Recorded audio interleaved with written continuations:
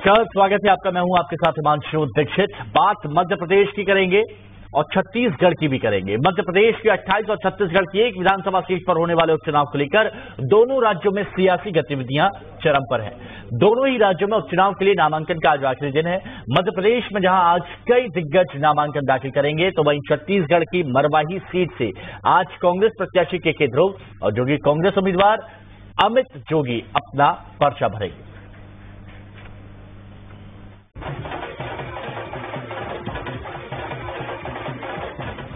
उपचुनाव को लेकर मध्य प्रदेश और छत्तीसगढ़ में इन दिनों सियासी गतिविधियाँ चरम पर हैं। एक तरफ़ जहाँ नेता चुनाव प्रचार में दिन रात एक किए हुए हैं, वहीं उपचुनाव के लिए आज नामांकन की आखिरी तारीख है। मध्य प्रदेश की 28 सीटों पर होने वाले उपचुनाव के लिए नामांकन के आखिरी दिन जहाँ कई दिग्गज पर्चा दाखिल करेंगे, वहीं छत्तीसगढ़ की मरवाही विधानसभा सीट पर आज कांग्रेस प्रत्याशी के के ध्रुव और जेसीसीजे उम्मीदवार अमित जोगी नामांकन करेंगे। वहीं मध्य प्रदेश में हो रहे उपचुनाव के लिए सीएम शिवराज सिंह चौहान तूफानी प्रचार में जुटे हैं और आज दतिया और मुरैना के दौरे पर रहेंगे। इस दौरान केंद्रीय मंत्री नरेंद्र सिंह तोमर भी सीएम शिवराज के साथ मौजूद रहेंगे। इस दौरान दोनों नेता चुनावी जनसभाओं को संबोधित करेंगे और पार्टी प्रत्याशियों के लिए वोट मांगेंगे। उपचुनाव को लेकर कांग्रेस और बीजेपी दोनों ही दल चुनाव प्रचार में जुटे हैं। ऐसे में देखना दिलचस्प होगा कि उपचुनाव के जंगल में किसका मंगल होगा। Team news state. चलिए, एक बड़ी खबर की बात करते हैं। उपचुनाव के दंगल में श्री राम की एंट्री हो गई है। अशोकनगर में बीजेपी प्रत्याशी जजपाल जज्जी ने रामशिला बनवाई। एक महीने तक गाँव गाँव के मंदिरों में ये रामशिला गई और आज करीला मंदिर से अयोध्या के लिए चांदी की रामशिला रवाना हो गई। बीजेपी प्रत्याशी हैं जजपाल जज्जी और हर गाँव में रामशिला सिर पर रख के वो हर गाँव गए हैं। तो चुनावों के वक्त पर आमतौर पर हम देखते हैं कि भक्ति, भाव, ये सब देखने को मिलता है। और पुराने मुद्दों को अगर पुराने मामलों को देखा जाए, तब भी कांग्रेस की तरफ़ से ये मुद्दा उठाता रहा है, उठता रहा है कि जब भी चुनाव होते हैं तो बीजेपी को राम जी की याद आ जाती है।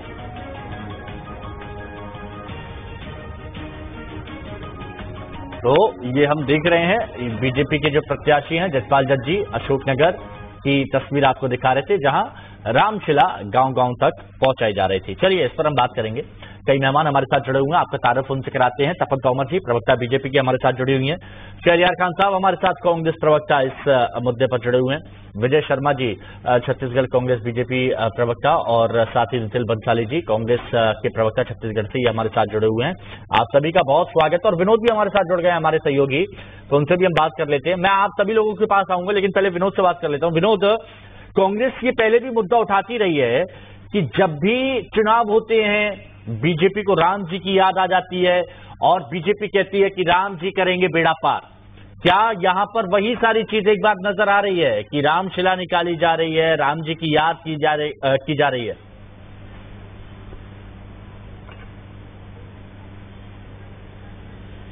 देखिए हिमांशु मैं बता दूँ कि बीजेपी ने राम नाम पर अपनी मोहर आज से नहीं बल्कि पिछले कई दशकों से लगाई हुई है और लगातार जब भी चाहे वो विधानसभा का चुनाव हो या लोकसभा का चुनाव हो, पहले राम का नाम लेके ही आगे बढ़ती है।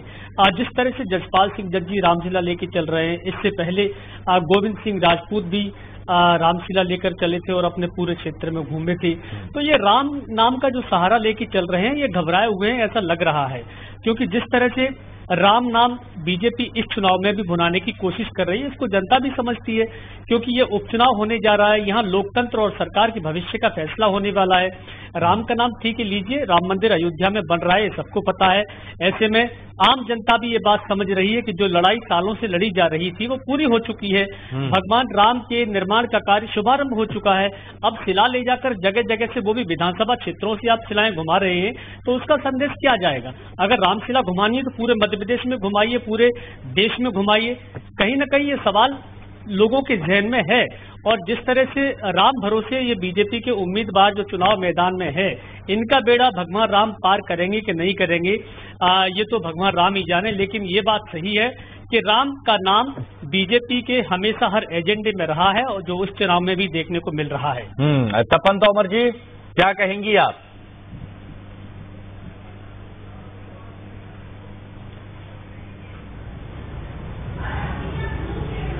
पुरुष है भगवान श्री राम और हम सभी के रोम रोम में हम सभी के मन में हम सभी के वचन में हम सभी के कर्म में बसते हैं राम।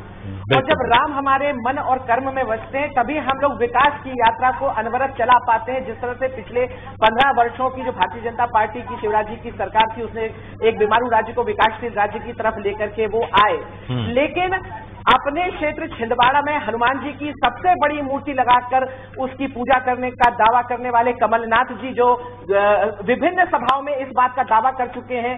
स्वाभाविक है हनुमान जी भी श्री राम भक्त ही हैं।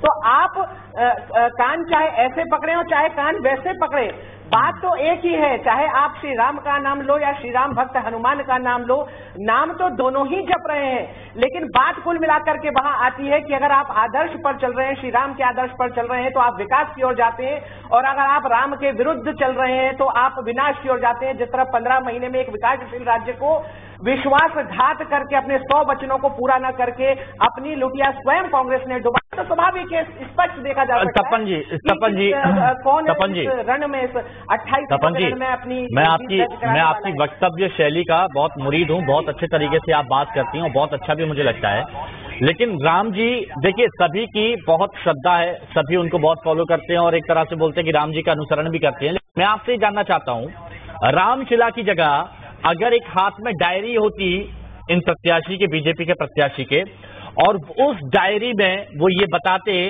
कि सरकारी विभागों में पिचासी हज़ार पद क्यों खाली हैं? मध्य प्रदेश में करीब तैंतीस लाख बेरोजगार क्यों हैं? मध्य प्रदेश में सुसाइड के मामले में वो चौथे नंबर पर क्यों हैं? मध्य प्रदेश दलित बच्चों से रेप के मामले में नंबर वन क्यों है? मध्य प्रदेश किसान आत्महत्या के मामले में चौथे नंबर पर क्यों है?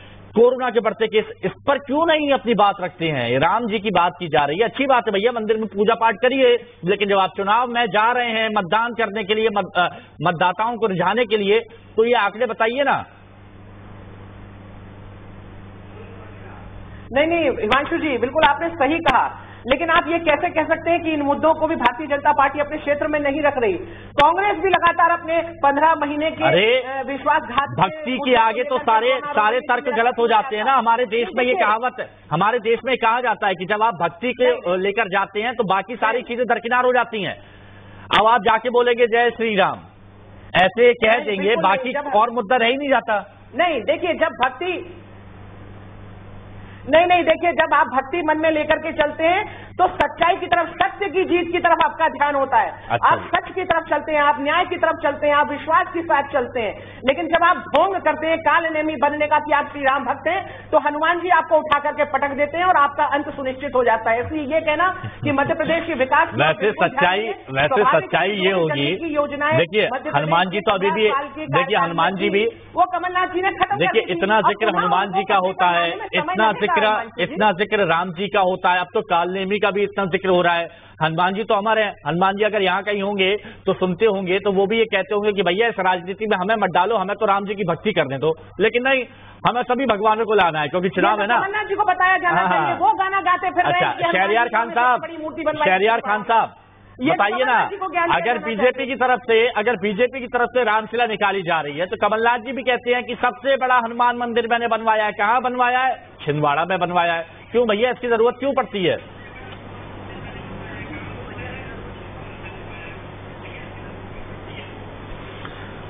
देखिए हिमांशु जी ये उपचुनाव क्यों हो रहा है इस पे बात नहीं हो रही। है उपचुनाव में विकास के मुद्दे कहाँ गौण हैं इस पे बात नहीं हो रही है। पंद्रह साल में हमने क्या करा है? भाजपा ये नहीं बता रही है। मुख्यमंत्री के गृह ज़िले में पिछले एक महीने में चार किसानों ने आत्महत्या करी है। उस पर बात नहीं हो रही है। अशोकनगर में माफिया राज, गुंडा राज और भय और डर का माहौल है। जगजी द्वारा उस पर बात नहीं हो रही है। ये लोग इस पे इसलिए बात नहीं करेंगे हिमांशु जी कि इनकी दुखती रद यही है कि इन्होंने पंद्रह साल और ये सात महीने में कुछ नहीं करा है करा है तो सिर्फ़ घोषणाएँ करी हैं अच्छा। और घोषणा भी हमारे मुख्यमंत्री के पास कोई विजन नहीं है और मध्य प्रदेश को ठगने और बरगलाने का काम जो पंद्रह साल खान साहब- सात महीने में करा। शहरियार खान साहब, जब देखिए, बहुत अच्छी बात है कि आपने अपनी बात रखी है। ये तय कर लिया है शहरियार खान साहब, मुझे एक जगह बताइए- इन बिकाऊओं को सबक शहरियार खान साहब मुझे एक जगह बताइए जहाँ पर कांग्रेस का मंच में जब कांग्रेस के सियासी जो दिग्गज हैं वो जब मंच पर गए हैं तो उन्होंने भी विकास की बात की हो या फिर उन्होंने मुद्दों की बात की हो। अब वो बोलते हैं अब कमलनाथ जी उन्हीं का ही मैं बयान जो यहाँ पर है हम लगातार सुनवा भी रहे थे हर किसी का बयान सुनवाते हैं। उन्होंने कहा था कि मैं कुत्ते की समाधि नहीं बनवाता मैं ये नहीं करता मैं वो नहीं करता। भूखे नंगे मतलब क्या क्या शब्दों का इस्तेमाल यहाँ पर किया गया है। मुद्दे की बात तो कोई नहीं कर रहा ना। बिल्कुल। ना कांग्रेस ना बीजेपी। कमलनाथ जी ने नहीं बोला। वो किसी नेता ने बोला है सुनिए अरे बता देता लेकिन लेकिन लेकिन देखिए, वो ठीक है मीडिया पे प्रतिक्रिया हाँ। होगी। हम्म। कैलाश विजयवर्गीय क्या बोल के गए? सुनिए हिमांशु जी हिमांशु जी सुनिए हिमांशु जी मेरी बात हो जाने दीजिए। हिमांशु जी कैलाश विजयवर्गीय भी दो दिन पहले अशोकनगर में क्या बोल के गए हैं? कमलनाथ जी और दिग्विजय सिंह की जितनी संपत्ति है ना उतनी संपत्ति से ज़्यादा का महल है। तो बिल्कुल वो महल उसकी संपत्ति से ज़्यादा होगा। आप कमाई और बाप कमाई और पूर्वजों की कमाई और उसमें भी वीरांगना रानी लक्ष्मीबाई की शहादत पे उस महल की दीवारें खड़ी हैं। हम्म। तो कैलाश विजयवर्गीय आपको ये तय करना होगा कि आप छह सात महीने से पहले याद नहीं आ रहा था कि ये महल की दीवारें किस पर खड़ी हुई हैं। ये छह सात महीने पहले याद नहीं आ रहा था कि ये दीवारें कहाँ पर खड़ी हुई हैं महल की।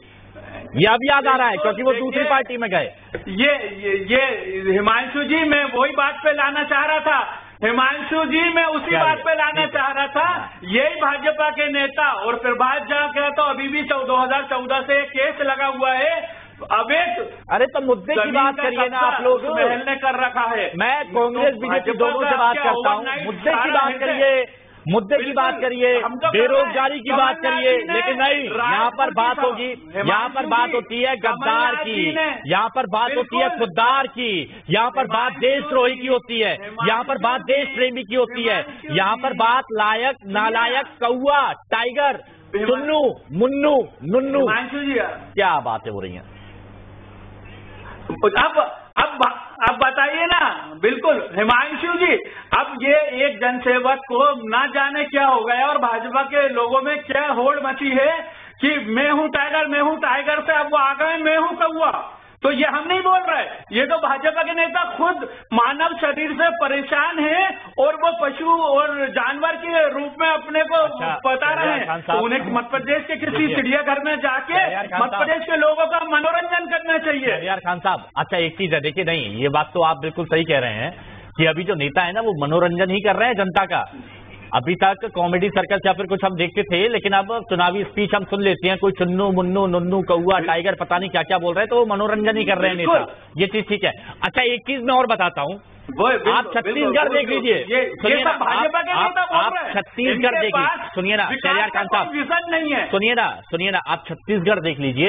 एक सीट है मुद्दे की बात वहाँ पर हो रही है और बहुत अच्छे तरीके से वहाँ पर प्रचार भी किया जा रहा है। एक सीट है, लेकिन 28 फरवरी है मरवाई उपचुनाव की। और हमारे साथ छत्तीसगढ़ कांग्रेस प्रवक्ता भी लगातार जुड़े हुए हैं। नितिन बंसाली जी, एक आरोप बहुत लग रहा है आप लोगों पर। साम, दाम, दंड भेद, सब कुछ आप अपना रहे हैं, लेकिन आप लोग नहीं चाहते हैं कि जोगी परिवार से कोई चुनाव लड़े। ये ये मुद्दा उठाया जा रहा है, जनता तक पहुँचाया जा रहा है। और जब भी हमने जोगी को मैंने सुना है या फिर जनता से उन्होंने बात की है। वो हमेशा अजीत जोगी जी की बात करते हैं अपनी पत्नी के बारे में जब भी बात करते हैं तो वो कहते हैं कि दो महीने के बच्चे की माँ, और इस तरह से मतलब भावनात्मक रूप दिया जा रहा है, और ये कहा जा रहा है कि आप चुनाव लड़ने से रोक रहे हैं उन्हें।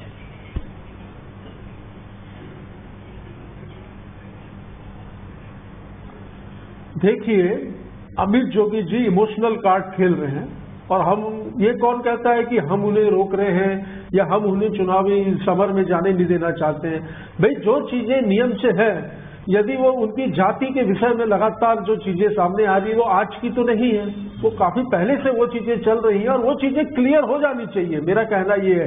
हमें कोई आपत्ति नहीं है, यदि वो चीज़ क्लियर हो जाए यदि उनकी जाति का मसला हल हो जाए तो वो लड़े या उनकी पत्नी लड़े हमें इसमें कोई भी आपत्ति नहीं है। लेकिन नियम से होना चाहिए। और यदि आदिवासी है। है तो आदिवासी होने चाहिए और नहीं है तो किसी का हक नहीं मानना हाँ, बंसाली जी छत्तीसगढ़ की भी जनता के मन में ये सवाल रहता है कि इतने सालों से जाति का पता नहीं लगा पाते और जब चुनाव होता है तब तुरंत तुरंत कार्रवाई होती है प्रमाण पत्र आता है निरस्त कर दिया जाता है तब तुरंत एक्शन लिया जाता है। इतने साल तक क्या हो रहा था? तो ये ये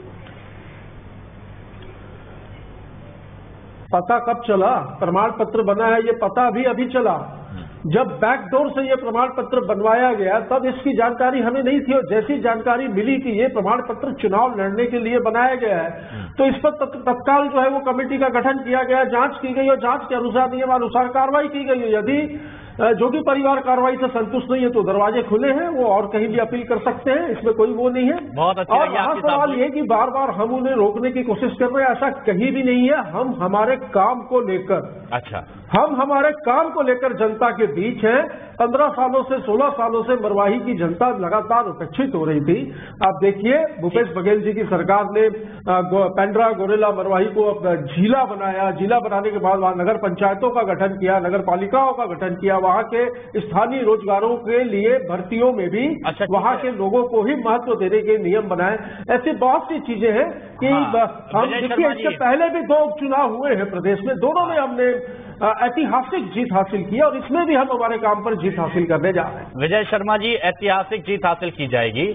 और एक तरह से देखा जाए ना जब कांग्रेस के प्रवक्ताओं को सुनता हूँ कांग्रेस के नेताओं से जब बात होती है तो वो लोग सोचते हैं कि जो कि कांग्रेस की कंपटीशन है बीजेपी को तो कंपटीशन में लेते ही नहीं है। हालाँकि डॉक्टर वर्सेस डॉक्टर का मुकाबला चल रहा है। आपको क्या लगता है कि कितनी अहम सीट है ये? बीजेपी के लिए कितना बड़ा मुद्दा है ये? और कांग्रेस क्या बीजेपी को हल्के में ले रही है? मैं आपको एक बात बताऊँ। 2018 का जब चुनाव हुआ था जी। तो पूरे प्रदेश में कांग्रेस के घोषणा पत्र के कारण बड़ी लहर थी कांग्रेस की। हम्म। और आप जानते हैं कितनी बड़े बड़ी सरकार बनी उस समय तीसरे पोजीशन पर थी कांग्रेस मरवाही में। हम्म। कांग्रेस तीसरे पोजीशन पर मरवाही में थी। अजीत जोगी जी एक अच्छे नेता थे उसमें कोई संशय नहीं है उनका वर्चस्व वहाँ था वह भी ठीक है। परंतु अमित जोगी जी अजीत जोगी जी का 10 प्रतिशत नहीं है मुझे ये लगता है बिल्कुल स्पष्ट तौर पर। और उनकी वो पकड़, उनकी वो बात नहीं कांग्रेस का तो कोई विषय ही वहाँ मुझे नहीं दिखता है। हाँ अभी मसला ये है कि वो शाम दाम दंड भेद जिन शब्दों का उपयोग हुआ है, मसलन उन्हीं विषयों के कारण कांग्रेस अभी प्रभावी दिखने का कोशिश कर रही है। आई एम अगेन मैं फिर से रिपीट करता हूँ साहब, वो तीसरे पोजीशन पर थी पिछले, उस समय जब इतने उफान पर कांग्रेस का पूरा कैंपेन था और इतनी बड़ी बहुमत पूरे प्रदेश में मिली तब मरवाही में कांग्रेस तीसरे पोजीशन पर थी। प्रत्याशियों हाँ, आपने ये बात बोल दी ना। देखिए देखिए विजय शर्मा जी आपने ये बात बोल दी तो बंसाली जी को ये बिल्कुल पसंद नहीं आया। बंसाली जी कुछ कहना चाह रहे हैं। हाँ बंसाली जी ये तीसरे नंबर पर पहुँचा दिया इसने आपको। जी ज़रूर ज़रूर।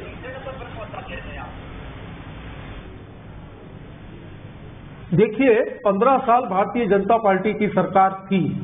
ठीक है हमें काम करने का भाई सरकार नहीं थी हमारे पास शासन नेता सत्ता नहीं थी तो हमें वहाँ पर मरवाही की जनता के लिए काम करने के अवसर नहीं मिले हाँ। अब चूँकि अगले महीने दो वर्ष पूरे होने जा रहे हैं दिसंबर में हमारी सरकार बने तो हमने जो वादे किए थे हमने जो आ, प्रदेश की जनता के किसानों का कर्जा माफ़, बिजली बिल हाफ़, आदिवासियों को उनके हक की ज़मीन को वापस करना, मरवाही पेंड्रा के लिए जो हमने जो घोषणाएँ की थी, वो सारी घोषणाएँ पूरी की हैं। तो हमें पूरा विश्वास है कि हमने इन दो वर्षों में जो काम किया है, जनता जनादेश जनता जनार्दन है और जनता देख रही है कि हमने जो वादे किए थे वो पूरे किए हैं और देखिए शुरू से ये शुरू से ये सीट कांग्रेस के ही पास रही है। आप कहेंगे कि अजीत जोगी जी चीफ वो वो थे विधायक थे पंद्रह साल वहाँ पर तो अजीत जोगी जी कौन थे? अजीत जोगी जी कांग्रेस के ही थे उस समय। उन्होंने बात में अपनी पार्टी छोड़कर खुद का दल बनाया। बंसाली जी लेकिन पूछना चाहूँगा सुनिए ना सुनिए ना। बंसाली जी सुनिए ना। आपने ये कहा आपने ये कहा कि शुरुआत से ये सीट कांग्रेस के पास ही रही है। आपने अभी ये बात कही है। मैं आपसे एक चीज़ पूछना चाहूँगा कि जब ये सीट शुरुआत से कांग्रेस के पास रही है तो कुछ देर पहले आपने जो बयान दिया था कि यहाँ के लोगों का विकास नहीं हुआ यहाँ का विकास नहीं हुआ तो उसके लिए किसको जिम्मेदार ठहराए हम? कांग्रेस को? उसके लिए भारतीय जनता पार्टी जिम्मेदार है। हाँ, और इसके लिए स्थानीय विधायक जो अब नहीं है मैं उनके विषय में नहीं कहना चाहता क्योंकि पहले तो हमारे तो बीच नहीं है। मैं नहीं कहना चाहता लेकिन देखिए विकास नहीं हुआ है इस चीज़ नहीं देखिए भाई विकास के लिए क्षेत्रीय विधायक को भी सत्तारूढ़ पार्टी का सहयोग चाहिए और उसमें उतनी हाँ, रुचि नहीं जवाब होनी चाहिए कि वो हाँ। क्षेत्र के हाँ, विकास के लिए।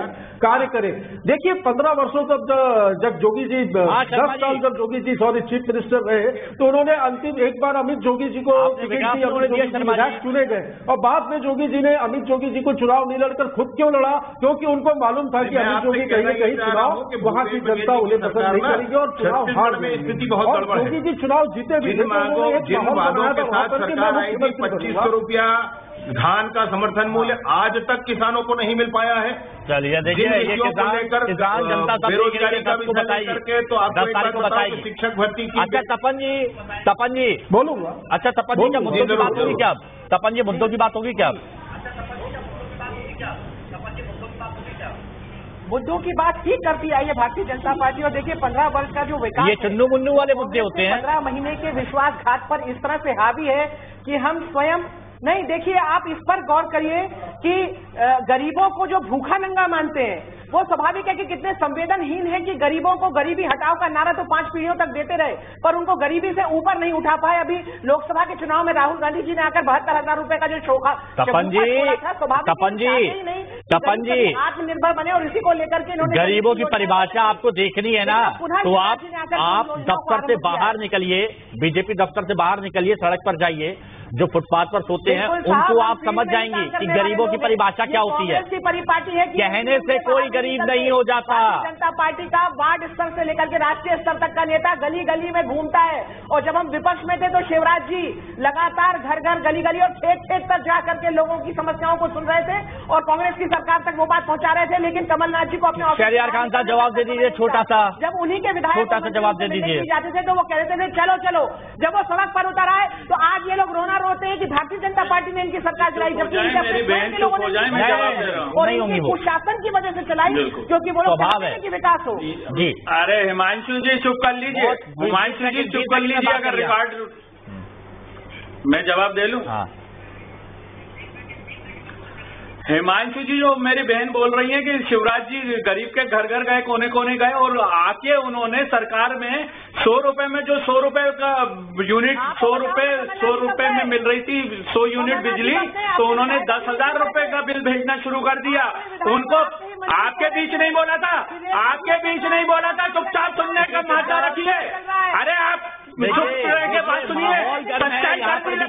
माहौल इससे अच्छा ये है कि यहाँ पर ले शिवराज जी। बहुत शुक्रिया आप सभी का हमारे साथ जुड़ने के लिए इस चर्चा में शामिल होने के लिए। मतदान ज़रूर करिएगा तीन तारीख को दस को परिणाम आएगा सब पता चलेगा। रुकेंगे एक छोटे से ब्रेक के लिए।